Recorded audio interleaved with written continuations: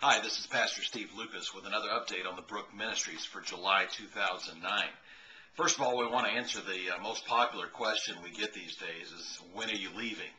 And uh, we have uh, locked the timeline in place and we are set to leave next August of 2010, so just over a year from now. Why the wait? Well, there's a lot to do in, uh, in the next few months. Um, to prepare for that move. Of course, we've got to put our house on the market, sell all our worldly possessions, uh, of course, pack up and, and head down there. But ministry-wise, there's a lot happening as well. We are working on our first U.S. Pastors Retreat in Costa Rica. Uh, even while right now we're preparing for uh, to work in our first pastors conference in Costa Rica with Latin American pastors just next month. So there's a lot happening. In addition, we're working on some programs that allow people to participate in a more intimate way with the Brook Ministries and provide for the build out of our campus.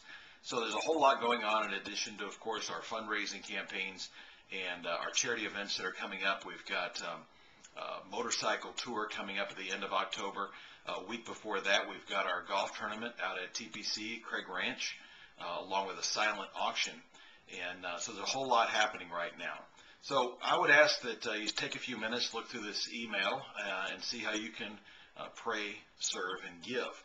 Uh, just a couple of things I would point out. Uh, personally, I would uh, challenge you to take a look at our golf and motorcycle events that are coming up and see how you can participate. We're still looking for businessmen and women who might consider being a sponsor of that event. And we've got a lot of levels of sponsorship, and we have some things set, but you know everything's negotiable. So if you are a business owner and you think that uh, your company would be a good sponsor at our golf tournament, or you'd like to join us out there, uh, just give me a call or shoot me an email. And uh, and also, if you like to ride motorcycles, we're going to have a great time with a tour being sponsored by Eagle Rider Dallas. It's going to be a tremendous fundraiser for us and a lot of fun. Uh, and also, I'll point you down to the bottom of this email. Uh, last uh, about a month and a half ago, we signed our first missionary, uh, Robbie and Natalie Richard, uh, down in Costa Rica. They're in the Guanacaste area, planting a church, already running close to 100 members, and just doing a fantastic work uh, literally meeting out in the middle of the rainforest with a shelter and just doing some incredible work. Well, they're in need of sponsorship and support. And so many of you have already sponsored the Brook Ministries. Uh, maybe some of you have been holding off, waiting for that special project. Well, here it is.